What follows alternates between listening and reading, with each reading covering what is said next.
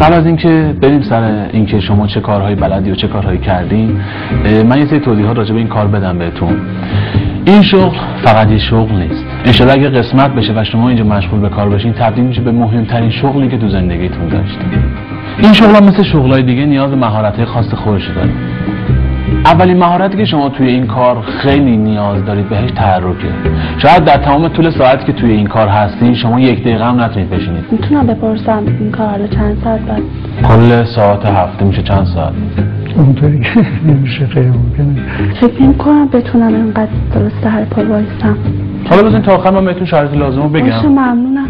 این کار به یه آدم نیاز داره با دایره صبر خیلی بالا. آدمایی که شما باشون سر کار دارید آدمایی بسیار حساسی هستند و نیاز به توجه شما دارن. صبح تا شب باید بهشون خدمت کنید و شب شاید همون آدما ازتون بخوان تا صبح باهاشون بیدار بمونید نمیشه که اینطوری باید بشه شاید همون آدمی که شما دارید بهش سرویس می‌دید سرتون داد بزنه ولی هیچی نباید بگید.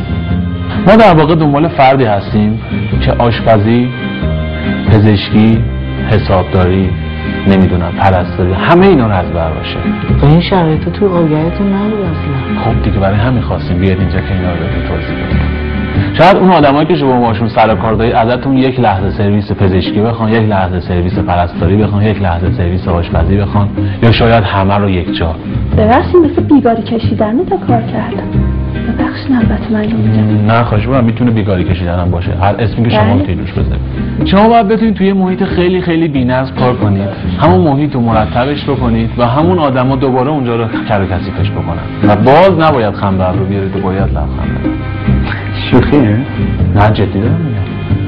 ببینید یه سری تعطیلات هستن مثل تعطیلات عید و نوروز و بله. بهار و تابستون و آخر هفته و شب یلدا. شما نه تنها این تعطیلات رو ندارید و نمی‌تونید برید بلکه باید اینجا حضور داشته باشید و کارتون اینجا دو برابر هم هست. حتی اگه بیمار باشم نمی‌تونم. حتی اگه بیمار باشید هم باید کار کنید. میریم سراغ دستمزد. با تمام شرایطی که بهتون توضیح دادم حالا سخت یا غیر سخت شما رقم پیشنهادیتون چقدره؟ کنم بالای 7 میلیون باشه اینجوری که میگی. با این توضیحات خب فکر کنم باید رقم بالایی داشته باشه. دیگه تو 5 میلیون کمتر نمیشه. خب اصلا هیچ کاری نیستش که. در این حد باشه. فکر نکنم مبلغ خاصی بشه گفت برای این کار. باید بهتون اعلام کنم توی این شغل مطلق حقوقی به شما پرداخت نمیشه. ببخشید خب شخص باید خیلی دیوانه باشه که واسه این کار. چه آگهی زدیم حالا با تمام این شرایط این شغل رو قبول می‌کنید نه. و اگه الان بهتون بگم با همه این شرایطی که بهتون گفتم و بدون یک ریال پول خیلی آدما هستن که دارن این کار انجام میدن باورتون میشه؟ هستن؟ هستن. کار می‌کنن؟ دارن کار می‌کنن. یه نفرم نه میلیاردها آدم توی کره زمین با این شرایط و بدون یک ریال پول دارن کار می‌کنن. حتما خیلی مهربونه.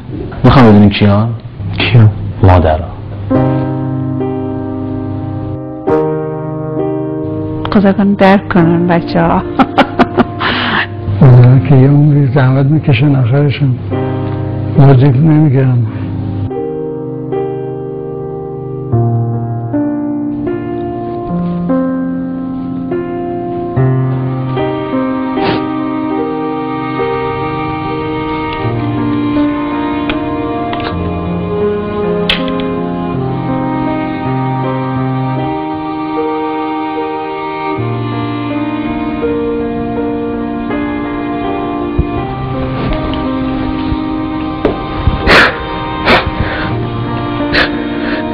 از اینکه من پسرشم